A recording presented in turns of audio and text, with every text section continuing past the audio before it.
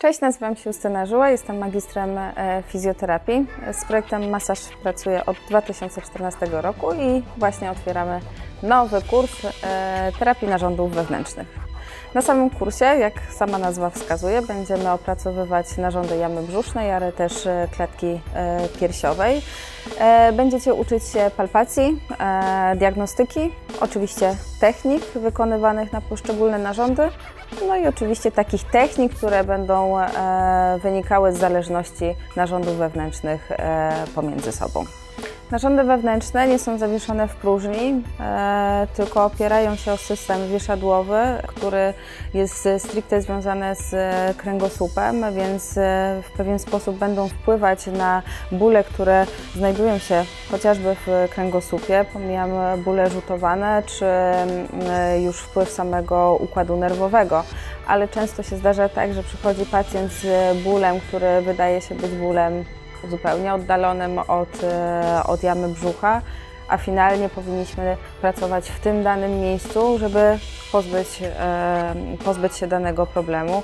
No i to jest klucz. Czasami mm, brak tej wiedzy, co zrobić z narządami wewnętrznymi i dlaczego one są takie ważne i dlaczego one dają promieniowanie na inne okolice ciała, blokuje nam po prostu postęp e, no, naszej terapii i wyzdrowienie naszego pacjenta. W projekcie masaż stawiamy na praktykę, w związku z tym również szkolenie z terapii narządów wewnętrznych głównie będzie się opierało o tą część praktyczną.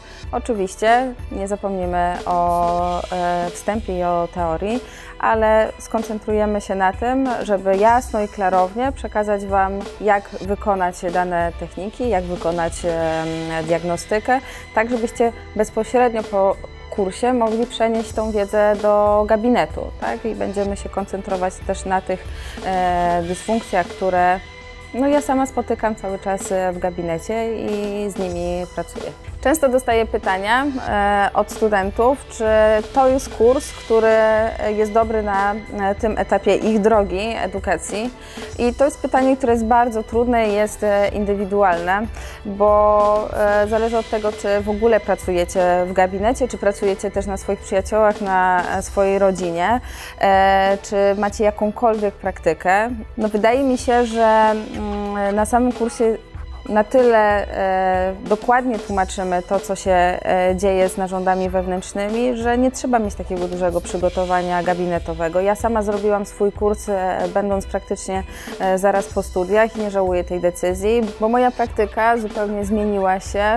Wylądowali u mnie pacjenci wtedy według mnie o innym pokroju, a to nie jest do końca prawda. Ja po prostu miałam zupełnie inne spojrzenie, bo byłam w stanie spojrzeć na nich bardziej globalnie, odnaleźć zupełnie inne dysfunkcje, powody tych dysfunkcji i bardzo mocno rozwinęłam się. I pacjenci szybciej ode mnie wychodzili z gabinetu bez bólu i miałam dużo lepsze efekty i ja też byłam z siebie bardziej dumna. Kurs jest skierowany do wszystkich osób, e, które są zainteresowane e, tym tematem, które chcą poszerzyć swoją wiedzę. E, gwarantuję Wam, że po samym szkoleniu zupełnie inaczej będziecie patrzeć na pacjenta, na jego dolegliwości. No i oczywiście inaczej też będzie wyglądała Wasza praktyka.